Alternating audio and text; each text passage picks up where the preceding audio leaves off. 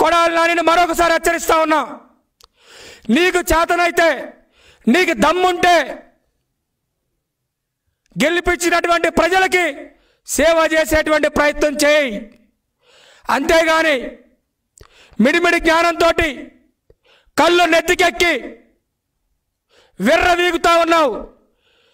నీకు గుడివాడ ప్రజలు బుద్ధి చెప్పేటువంటి సమయం దగ్గరలోనే ఉంది. అంతేకాదు భవిష్యత్తులో కనుక బయట నీకు ఇష్టం వచ్చినట్టు వాగావనుకో నీకు దేహశుద్ధి తప్పదు. నువ్వు భర్త పూజ చేస్తావా చంద్రబాబు నాయుడు గారిని? నీ స్థాయి ఎంత? నువ్వెంత? నీ బతికెంత?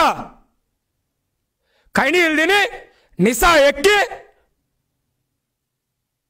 విలువలు మరిచి అడ్డగాడిలాగా ఇష్టం వచ్చినట్టు ఏ చంద్రబాబు నాయుడు గారి వయసు అంతా? ఆ రాజకీయ అనుభవం అంతా లేదు నీ వయసు? అడ్డగోలుగా ఏది నోటికొస్తుంది మాట్లాడతావా? నీ మంత్రి పదవి కోసం. నీ ఇష్టం వచ్చినట్టు మాట్లాడుతూ ఉంటే మేము చూస్తూ ఊరుకోవాలా? మేము వినాలా? నువ్వు భర్త పూజ చేస్తావా? చేద్దుగాని రా. ఇదిగో భర్త నేను పంపిస్తున్నా. రా భర్త పూజ చేద్దుగా నీ సంగతి తెలుస్తాం. తమాషా చేస్తున్నావు.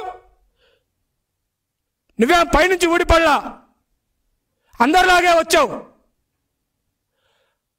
అధికారిని అడ్డం పెట్టుకొని అధికార మదంతో కళ్ళు నెత్తికెక్కి అడ్డగోలుగా మాట్లాడతావా?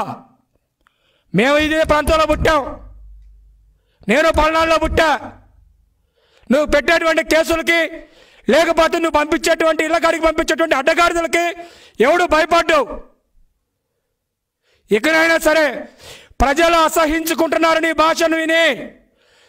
నీ బాడీ లాంగ్వేజ్ బాగాలేదు నీ ప్రవర్తన బాగలేదు. మార్చుకునేటువంటి ప్రయత్నం చేయి.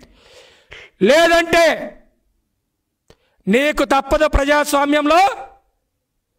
ప్రజల ఓటు ద్వారా నీ రాజకీయ జీవితాన్ని కూలీ చేయబోతా ఉన్నారు. నువ్వు ఇష్టం వచ్చినట్టు గనక నీ ప్రవర్తనలో మార్పు చేసుకోకుండా మాట్లాడితే నిన్ను రాష్ట్రంలో ఎక్కడా తిరగనివ్వవు. ప్రతి తెలుగుదేశం పార్టీ కార్యకర్త తిరగబడతాడు. నీకు దేహశుద్ధి తప్పదు.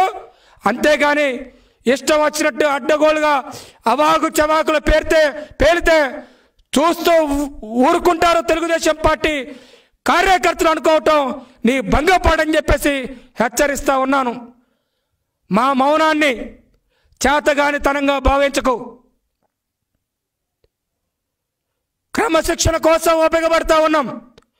అంతేగాని అడ్డగోలుగా మాట్లాడి మా క్రమశిక్షణను మేము మర్చిపోయే విధంగా రెచ్చగొడితే నీకు వల్లు పగిలిపోద్దని చెప్పేసి నేను కూడా హెచ్చరిస్తా ఉన్నాను మిస్టర్ కొడాలని subscribe Subscribe us and press the bell icon for more interesting updates.